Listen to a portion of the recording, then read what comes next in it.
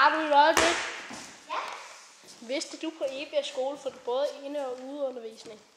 Er der andet, man får? Ja, man får en sej energilejeplads, hvor man kan lave strøm til skolen på en sjov og spændende måde. Ej, det lyder